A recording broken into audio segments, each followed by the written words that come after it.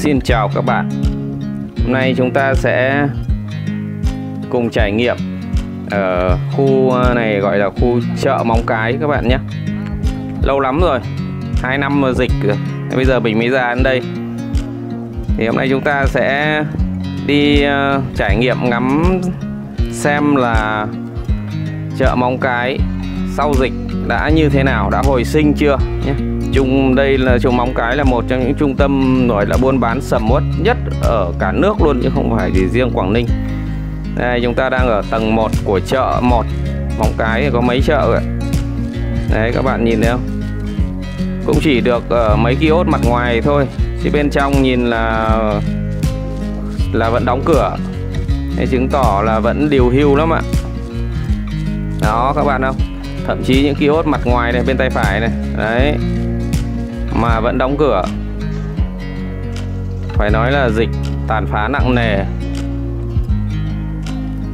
Đây uh, móng cái thì có 3 chợ nhé các bạn nhé. 3 chợ uh, à, à 4 chợ. Chợ 1 chợ 2 chợ 3 và khu uh, chợ Vinh Cơ. Đấy. Thì chúng ta đang ở chợ 1 cái tầng 1 kia và tầng 2 này là chủ yếu là bán quần áo nếu như các bạn trước đây ờ, khi mà chưa dịch đến đây thì gọi là cực kỳ sôi động luôn. Cực kỳ sầm uất. Và cái tầng 1 kia ấy, là lúc đấy là họ không bao giờ bán lẻ luôn. Các bạn vào đừng có hỏi bà mua lẻ nhé. Là họ không bao giờ họ tiếp luôn. Đấy. Chỉ có lên tầng 2 này thì mua lẻ thì được. Nhưng mà không thử. Không thử nhá. Các bạn phải biết được cỡ của các bạn như thế nào, biết được cách ướm một người như nào để biết là vừa chứ không thử nhá. Riêng ở chợ móng cái này là như thế, còn bây giờ sau dịch thì mình không biết là đã thay đổi gì chưa. Đấy, vì hiện tại là mình thấy tầng 1 như vừa rồi là có bán lẻ, tức là nó quá khó khăn và họ đã có những cái thay đổi rồi. Đó. Lên tầng 2 này cũng vậy thôi ạ. Nhìn có vẻ được, cũng lưa thưa được cái mặt à, ngoài này thôi. Cái đằng sau của, đằng sau họ còn à, hai dãy kiosk nữa cơ quay mặt vào nhau nhưng mà đấy, các bạn nhìn nhìn nhìn đằng sau kìa. Đóng cửa luôn, thưa thớt. Như này mới chỉ gọi là cựa quậy thôi. Cựa quậy để chuẩn bị gọi là phục hồi thôi. Chưa chưa có gì gọi là so với móng cái ngày xưa thì chỗ này quá là quá là buồn. Đó. Đấy, tầng 1 đi vèo cái hết luôn à tầng 2 đi vèo cái hết luôn ạ. À, trước là chúng ta phải đi rất là lâu là vì nó nhiều lắm. Bây giờ mình sẽ lên tầng 3 thêm nhé. Hôm nay mình sẽ đi hết các chợ. Các bạn chịu khó theo dõi vì video hơi dài một chút nhé. Mình sẽ đi hết các chợ quay sơ qua những cái cơ bản để các bạn được hình dung được cái toàn cảnh. Đấy. À, tình hình thương mại ở Móng Cái nó đã như thế nào sau dịch? Thực sự nhìn này thì vẫn buồn lắm ạ. Đây tầng à, 3 này là vali túi sách ba lô giày dép. Chủ yếu là giày uh, giày dép quốc của chị em phụ nữ là nhiều ạ. Đó.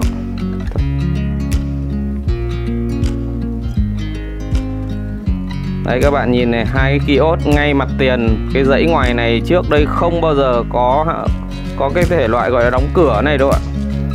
Đây là cái bán đồ trang sức ờ, mà đưa nam châm vào hút luôn đấy trang sức mà đặt nam châm vào hút luôn đấy ngày xưa những cái mặt tiền như này là không bao giờ có kiosk ờ, trống như này đâu ạ. Thế mà bây giờ các bạn nhìn thấy đóng cửa nhiều không? Phải nói là sự hủy diệt của đại dịch nó kinh khủng.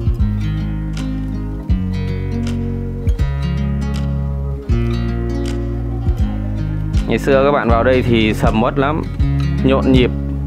Riêng cái cái khoản mà xem ờ, mọi người đóng hàng để gửi đi thì thôi. Gửi đi bán buôn đấy ạ.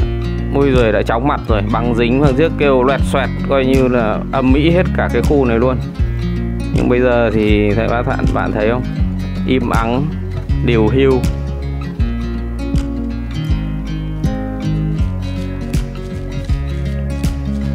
Cũng gọi là bây giờ mới bắt đầu gọi là cựa mình để hy vọng là sẽ hồi sinh được.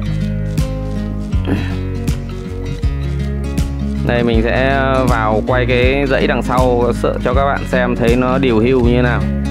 Đó, các bạn thấy không? Cái kiosk mặt tiền đẹp như này mà đóng cửa này. Đúng góc mà đóng cửa. Đấy, cái dãy đằng sau này. Hai dãy úp mặt vào nhau á thấy đóng cửa im ỉm luôn. Không có một cái gì hoạt động luôn. Ngày xưa chỗ đấy cũng kín bưng, không có cái chỗ nào là đóng cửa hết đâu ạ. Nhộn nhịp luôn. Vì chợ móng cái này thì mình đi, ngày xưa mình đi thường xuyên. Có khi ờ, tháng ra lần đấy. Cho nên là mình không lạ gì chợ móng cái này. Bây giờ mà nhìn như này là thấy nó vẫn còn điều hưu lắm, chưa ăn thua gì so với ngày xưa cả.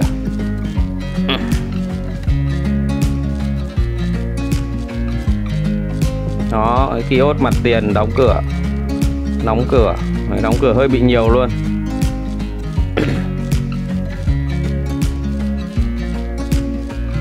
Này ba lô túi sách. Ví viết các loại luôn.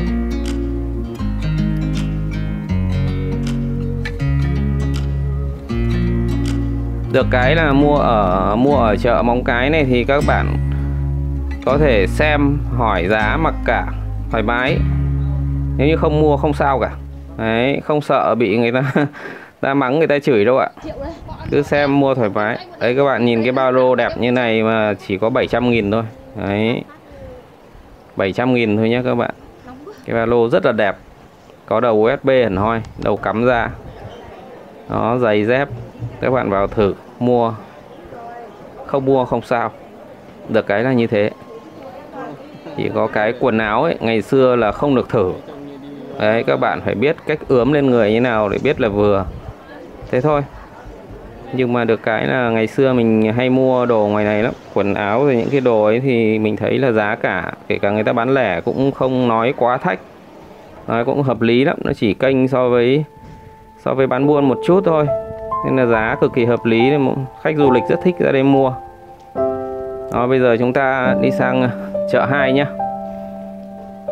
Chợ 1 thì nó, nó, nó chung chung nó là như thế vì cũng không có nhiều, đóng cửa nhiều lắm, nên mình đi sơ thế đã hết rồi.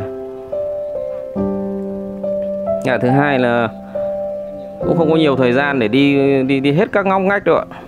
Mà cũng không có, người ta đóng cửa hết rồi còn đâu. Đấy trước là những cái dãy chỗ này, hàng quán bên ngoài này người ta ngồi, gọi đông kín mít luôn bán hàng, nhộn nhịp, ăn uống. Chứ nó không điều hưu như này đâu ạ. Dọc cái ngoài này là toàn hàng ăn, hàng uống các thứ để phục vụ ờ, mọi người ở trong chợ mới đi chợ đấy ạ. Đây, cái dãy cái dãy ngoài mặt phố này cũng thế. Trước là kín bưng hàng hóa bày ra tràn lan. Nhưng bây giờ các bạn nhìn thấy buồn không? Quá buồn luôn.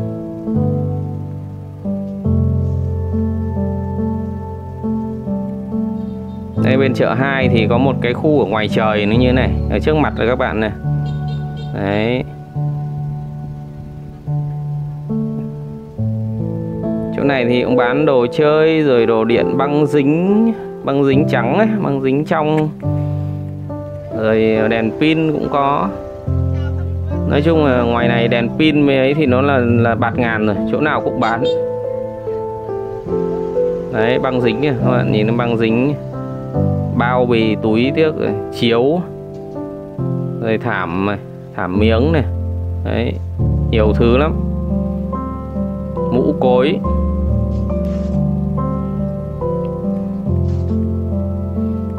Vì riêng cái băng dính mà cung cấp cho ở cái khu chợ này thôi, ở khu móng cái thôi, để mọi người đóng hàng à, một cái lượng nó khổng lồ rồi.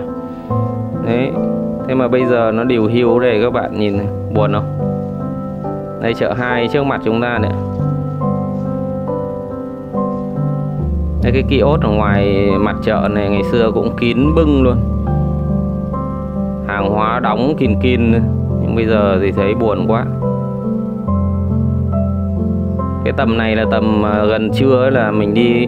Ngày xưa ấy là mọi người đóng hàng nhộn nhịp luôn để gửi ra xe gửi ra bến xe để gửi vào vào trong cho mọi người, những cái đầu buôn ở trong này, chợ hai này. Đây là tất tay rồi các thứ này.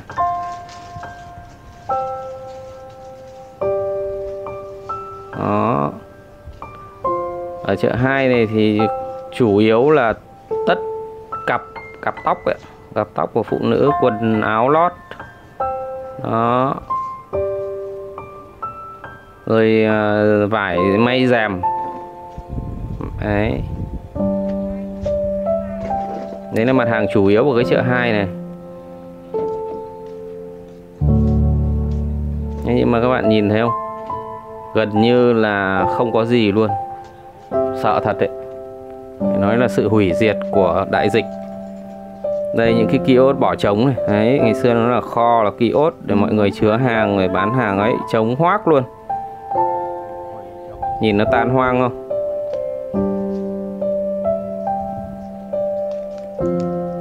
Đấy, còn ờ, vải may áo dài này. Đấy, đấy là cái đặc thù của chợ hai là chủ yếu là những cái em đấy.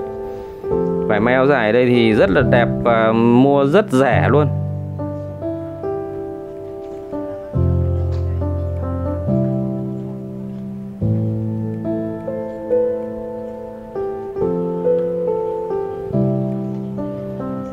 Đó. Vậy là hết chợ hai rồi đó. nó không có nhiều cửa hàng nên mình đi sơ thì các bạn đã cũng đã thấy rồi đây là chợ ba thì chợ ba nó thực chất là chợ dân sinh ở đây thôi chứ nó không phải là chợ ờ, buôn bán hàng hóa như hai chợ kia Đấy. chợ này thực chất là chợ dân sinh phục vụ cho đời sống bà con ở móng cái này Đấy, cũng có một vài cửa hàng bán những cái đồ này nhưng mà nó không phải là là là nó không phải là chính ấy đó các bạn nhìn thấy có hoa quả có nồi niêu xong chảo bát đĩa Đấy, đúng chợ dân sinh mà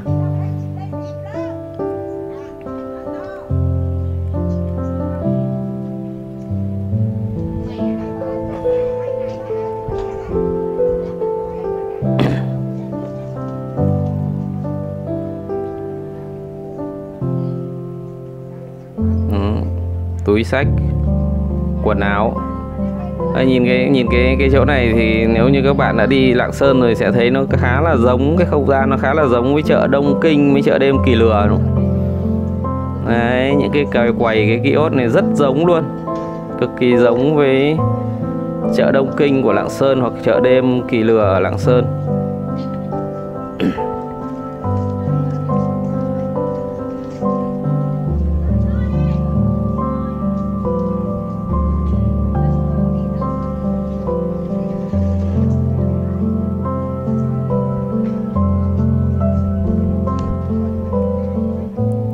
hết chợ ba bây giờ ra đến chợ bắt đầu chợ Vinh Cơ đấy ạ.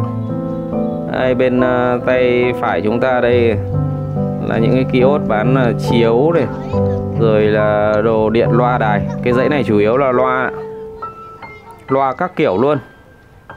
Loa kẹo kéo rồi rồi loa loa cho dàn giếc, ờ, loa thùng, loa chậu là có hết ạ.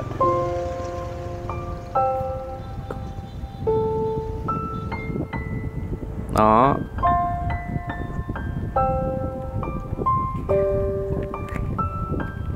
thực ra thì những cái ờ, những cái cửa hàng ở mặt tiền ngoài mặt phố này thì nó vẫn vẫn có thể hoạt động được các bạn. Nhưng mà trông cũng, nó không có được cái công suất như ngày xưa. Nhưng mà ít ra là trông nó vẫn còn đỡ điều hưu. Nhưng mà thực sự là nếu ai đã biết móng cái của ngày xưa rồi thì nhìn đây sẽ thấy nó vẫn buồn lắm. Nó không sôi động không không đúng nghĩa là một cái trung tâm gọi là buôn bán sầm uất ở đầu mối nữa. Nó vali này, vali các kiểu luôn. Cái khu bên Vinh này chủ yếu là đồ điện đồ điện các loại. Đồ điện và tí nữa mình sẽ quay cho các bạn cái khu bán ờ, đồ ờ, điện thoại, máy tính bảng đấy. Đây dọc đây các bạn nhìn thấy toàn đồ điện là nhiều thôi. Kiểu quạt tích điện này, rồi đèn pin này. Rồi máy sấy tóc. Bếp từ. Đấy chủ nồi cơm điện. Ấm điện. Nói chung là bạt ngàn.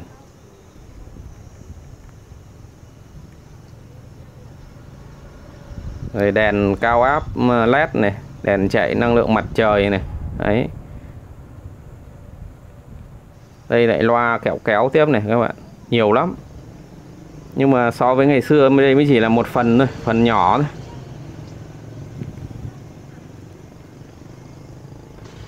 Đấy, những cái quạt tích điện rất là nhiều, các bạn. Đó, các bạn nhìn thấy cái tấm pin mặt trời to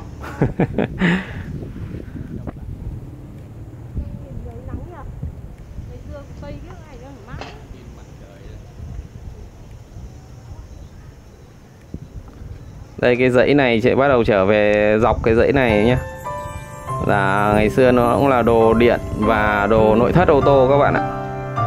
Đồ nội thất ô tô ấy là bạt ngàn mênh mông ở chỗ này luôn. Thế mà các bạn nhìn bây giờ điều hưu không? Đóng cửa hết rồi, chẳng còn ai cả. vì chủ yếu bán đồ nội thất ô tô ở đây lại là người Trung Quốc họ sang đây họ bán. Nhưng người Việt thì bán ít thôi. Thành ra bây giờ họ không sang được ấy. Nhìn thấy nó đóng cửa hết cái con đường này chúng ta chạy thẳng về phía trước mặt khoảng hai ba trăm mét nữa chính là cửa khẩu Móng Cái cửa khẩu quốc tế Móng Cái chính là ở đấy á khoảng hai ba trăm mét thôi. Đó, các bạn nhìn thấy những cái đèn cao áp, chạy năng lượng mặt trời này. Đấy. bây giờ dọc chỗ này thì thì chỉ còn ờ, một vài cái cửa hàng lưa thưa này thì là của người Việt bán. Thì là còn còn những cái cửa hàng của người Trung Quốc là đóng cửa hết rồi vì họ không sang được. Trung Quốc họ vẫn thực hiện cái gọi là giãn cách rất là khắc nghiệt, cho nên là con người đi lại là chưa được. Việt Nam mình sang đấy cũng không được và người Trung Quốc sang đây cũng không được. Chỉ có hàng hóa thì vẫn về được, nhưng mà về một cách rất là nhỏ giọt. Đó. Các bạn nhìn thấy nó điều hưu không? Thế mới thấy được, có đi thì mới thấy được cái sự tàn phá của đại dịch nó kinh khủng như thế nào.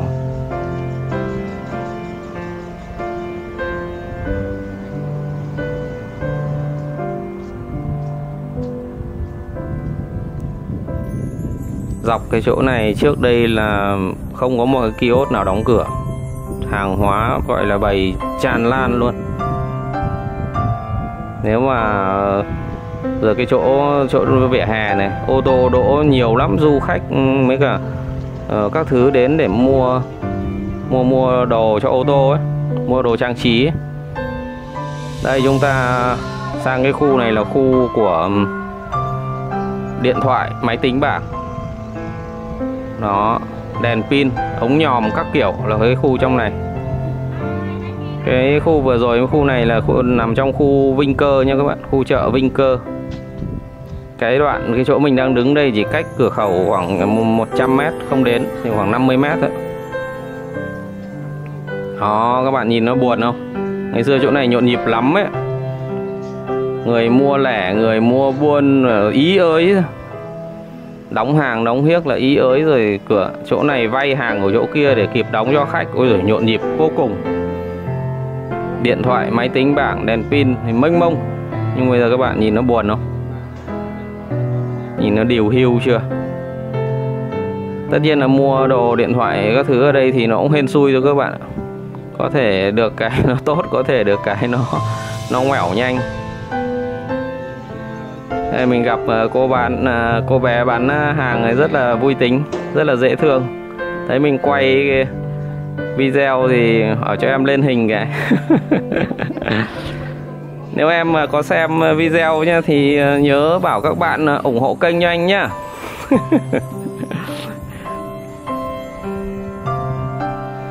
Đây chỗ này cũng thế này trong này là những cái cửa hàng bán ờ, linh kiện máy tính điện thoại máy tính bảng. Bây giờ cũng đóng cửa hết rồi. Cả một cái khu sầm uất mà bây giờ điều hưu này các bạn ạ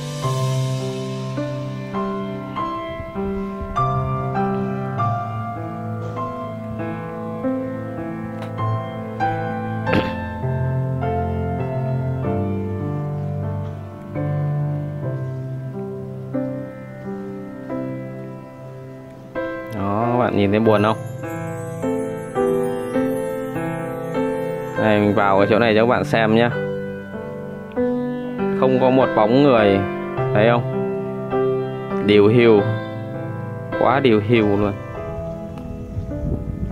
Đấy, bây giờ mình vào cái khu này là khu tiếp theo để các bạn thấy sự điều hưu nó mức độ như nào. Đó.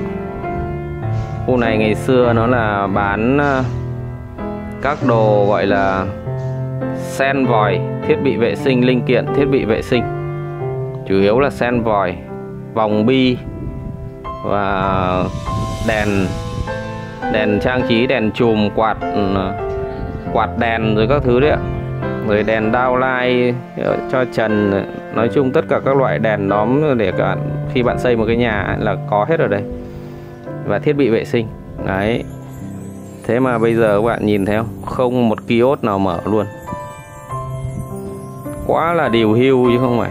Cái khu này là khu có lẽ là bị là buồn nhất đấy nhưng còn quần áo kia họ còn nhúc nhắc được. Đấy. Khu này coi như là như này là nhìn các bạn biết là chết hẳn luôn chứ còn gì nữa đúng không? Thế mà ngày xưa thì cực kỳ là nhộn nhịp luôn. Riêng cái khoản mà các bạn đi bộ ở đây để né các bác xe ôm chở hàng ra bến xe thôi cũng đã, đã chóng mặt rồi. gọi là chạy như con thoi. Thế mà bây giờ nhìn buồn không?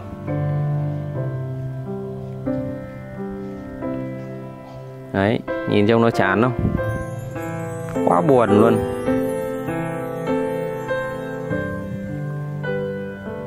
Căn bản ấy là bây giờ ấy, hàng về mình nói chuyện thì thấy mọi người bảo hàng về thì vẫn được nhưng mà nó ít lắm nhỏ giọt. Và cái thứ hai là giá nó đội lên rất nhiều vì cái chi phí sản xuất ở bên Trung Quốc bây giờ họ cũng bị lên. Và họ đang dịch giã, giãn cách nặng nề như thế nên là cái sản xuất cũng bị đình trệ. Thế rồi cái nguyên liệu đầu vào cũng bị đắt lên. Thế cộng với là cái cước phí cũng như cái thuế thiếc để chuyển hàng về đến Việt Nam nó cũng bị lên thì như một số người bán hàng đây, họ có nói là cái à, phí vận chuyển và thuế thiếc để về được một kiện hàng bây giờ lên gấp hơn hai lần so với ngày xưa. Đấy, các bạn thấy kinh khủng không? Đấy mới tính có một cái chi phí thôi. Chứ chưa nói gì đến là cái chi cái giá thành của sản phẩm nó cũng lên nữa. Thành ra mà bán cao bây giờ thì cũng khó. Đấy. Vì người dân bây giờ cũng sau dịch ấy, cái khó khăn kinh tế người ta cũng đâu có chịu được cái giá cao. Cộng với là bây giờ xăng dầu lên như này nữa. Phải nói là cực kỳ khó khăn luôn. Nó các bạn nhìn thấy buồn không? Cả một cái khu sầm uất mà bây giờ có vắng tanh đúng như chùa Bà Đanh luôn.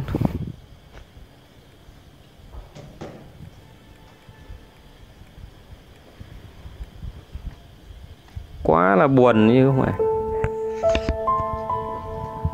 Rồi, mình ra quay à, cái mặt phố này để cho các bạn. Đây, chỗ này là bán đồ kim khí này máy khoan máy cắt máy mài rồi bơm rồi kìm tô vít các kiểu. Đấy.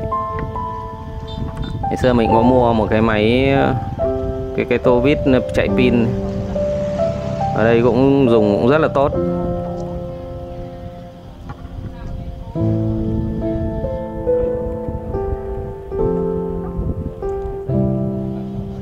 cái mặt bên kia vừa rồi mình quay cho các bạn là loa đài đấy thì mặt bên này bây giờ mình quay cho các bạn xem đồ điện nhé à, dọc dãy này đấy toàn bộ đồ điện đèn đóm quạt nó như nồi cơm điện.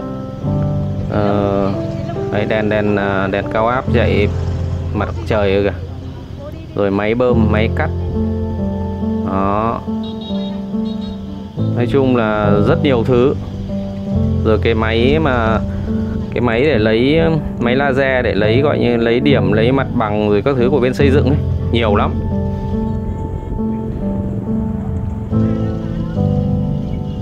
Loa liếc này, đấy. Máy cắt kìa nhìn thấy không máy hàn này. Mênh mông là hàng hóa, nhưng mà so với ngày xưa chưa là gì cả. Thế nó mới buồn như các bạn. Quạt tích điện, các thứ thì cũng nhiều lắm nhưng mà mình chia sẻ một cái để các bạn à, biết nhé là mua ở đây ấy, thì các bạn họ sẽ có nhiều loại giá cho các bạn. Rất nhiều loại. Thì mình nên chọn cái nào giá nó cao ấy. Tại vì họ không họ không nói linh tinh đâu. Họ bán cũng khá chuẩn đấy ví dụ cái nào đắt là đắt cái nào rẻ là rẻ chứ không bị lẫn lộn thì các bạn nên mua cái loại, trong ba loại, ví dụ người ta để, đưa ra cho các bạn cùng một sản phẩm, thì các bạn nên chọn cái cái đắt nhất, thì nó sẽ luôn là cái chất lượng tốt nhất và dùng sẽ ổn nhất. Đấy đấy là kinh nghiệm mình đi mua ở đây, nó là như thế. Thế còn nếu ai có kinh nghiệm nào khác thì chia sẻ cho mọi người cùng biết ở dưới phần comment nhé. Đó, đây là quạt 12V quạt tích điện này, các kiểu của các bạn này. Đấy rồi là đèn sưởi này loa này đấy. Rồi là quạt uh, điều hòa này. Nồi cơm điện bếp từ bếp ga đèn pin các kiểu. Rồi mình đi một vòng thì bây giờ mình rẽ vào đây ghé vào đây mình mua ít bóng đèn rồi các thứ về để thay cho nhà ấy. ngày xưa mình cũng mua đèn để làm lắp cho gia đình ở đây. Thế bây giờ mình mua mình mua một, thêm một ít về cái đồ dự trữ nó hết rồi. Nó cứ cháy dần cháy dần, qua nhiều năm tháng mình thay thì bây giờ mình mua một ít về. Đấy, các bạn nhìn đèn chùm, đèn chiếc, các kiểu luôn. Nha tạm biệt các bạn. Hẹn gặp lại các bạn ở những video sau. Cảm ơn các bạn đã xem video.